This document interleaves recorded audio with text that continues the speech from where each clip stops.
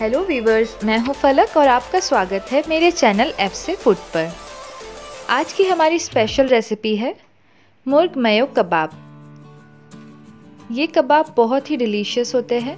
इस रेसिपी को बनाने के लिए जो इंग्रेडिएंट्स की रिक्वायरमेंट है वो है boil shredded chicken ginger garlic paste काले मिर्च पाउडर ज़ीरा पाउडर गरम मसाला पाउडर हल्दी, स्वाद के अनुसार नमक, एक बड़ा प्याज, धनिया, हरी मिर्चें, एक से दो अंडे ब्रेड क्रम्स और मैदे का बैटर ये कबाब बहुत ही डिलीशियस होते हैं और काफ़ी सॉफ्ट इस रेसिपी को बनाने के लिए सबसे पहले हम एक मिक्सिंग बोल में बॉइल्ड चिकन ले लेंगे, जो श्रेडेड है, उसमें जिंजर गार्लिक पेस्ट डाल देंगे.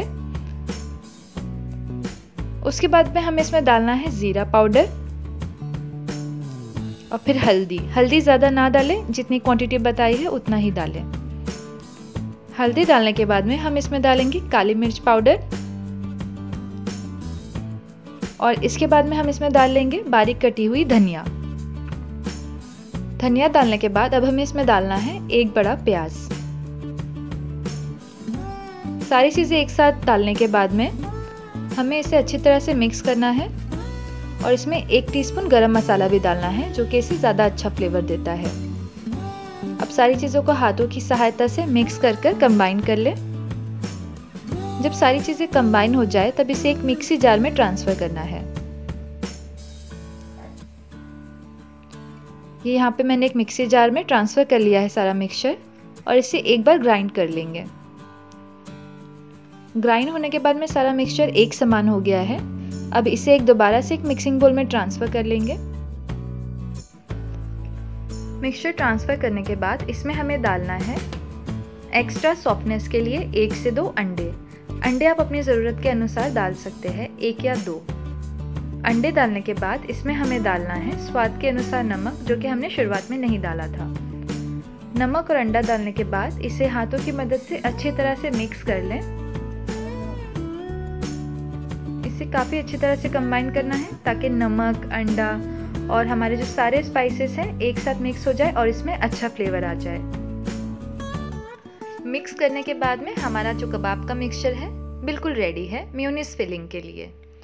तो अब चलते हैं हम म्यूनिस फिलिंग की तरफ़, जिसके लिए मैंने मिक्सचर लिया है। उसके साथ में एक प्लेट रख ली है साइड में, जिसमें मैं कबाब बना कर रखूँगी। और ये है म्यूनिस जो आधा कप इस्तेमाल की है मैंने। मिक्सचर को मैंने इस्तेमाल करने से पहले एक बार दोबारा से नीट कर लिया था थोड़ा, ताकि अगर सॉल्ट बराबर ना हुआ हो मिक्स तो वो अच्छे से हो जाए। अब सबसे पहले मिक्सचर में से थोड़ा सा एक पोर्शन लेंगे, हथेलियों पे उसे फ्लैट करेंगे, ताकि इसमें हम म्यूनिस भर सकें। मिक्सचर मुझे थोड़ा कम लग रहा था तो मैंने थोड़ा सा और ऐड कर लिया है। उसे अच्छी तरह से फ्लैट करके एक छोटा सा डिप्रेशन अंदर ला दें उसमें, और उसके अंदर म्यूनिस फिल कर दें। म्योनीस आधे चम्मच से ज़्यादा नहीं भरनी है, वरना म्योनीस जो है फ्राइंग के टाइम पे बाहर निकल सकती है और कबाब आपके फूट सकते हैं। इसके सारे जो एजेस है, अच्छी तरह से सिक्योर करके सील कर दें, ताकि म्योनीस बिल्कुल भी बाहर ना निकल सके। फिर इसे दोनों पाम में अच्छी तरह से प्रेस करके जेंटली कबाब शेप दे दें। इस कबाब में बिल्कुल भी क्रैक्स नहीं होने चाहिए। अब हम यहाँ पे कोटिंग के लिए इस्तेमाल करेंगे मैदे का घोल और ब्रेड क्रम्स सबसे पहले मैंने इस कबाब को मैदे के घोल में डिप कर लिया है अच्छी तरह से। और फिर इसे हम डालेंगे ब्रेड क्रम्स में। ये कबाब मैंने एक कोटिंग वाले ही बनाए हैं। इसी तरह से मैंने बाकी के मिक्सचर के भी कबाब बनाकर रेडी कर लिए हैं।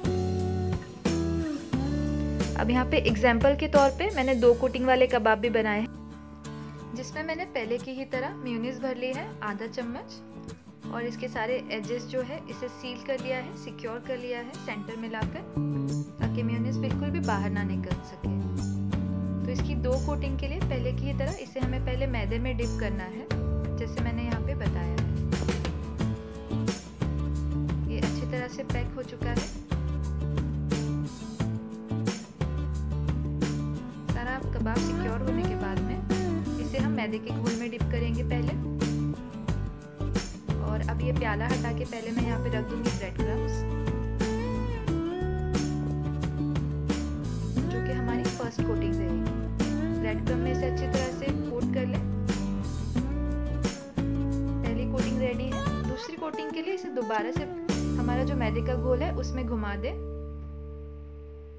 उसमें अच्छी तरह से चलाने के बाद हमें इसे ब्रेड क्रम्स में डालना है, दोबारा से दूसरी कोटिंग के लिए।